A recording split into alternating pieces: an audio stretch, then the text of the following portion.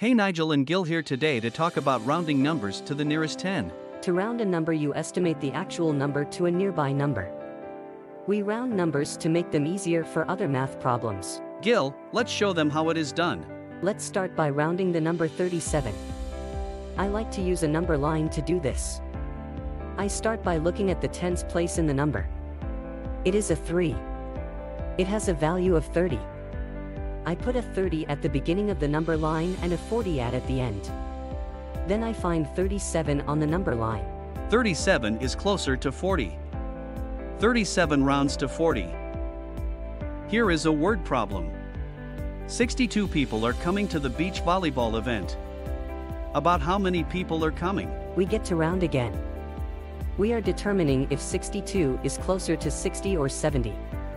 Here is 62 on the number line. 62 is closer to 60 than 70.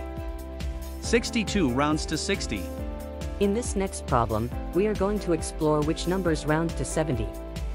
All the numbers are in the 60s so our number line will have a 60 at the beginning and a 70 at the end. 67 is located here on the number line. It is closer to 70. It will round to 70. Gil you take the number 61, the number 61 is located here on the number line. It is closer to 60. It will not round to 70. The number 65 is right in the middle.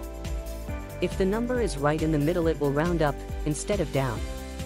65 will round to 70. It's time for us to get to that volleyball event. Keep practicing on rounding numbers to the nearest 10.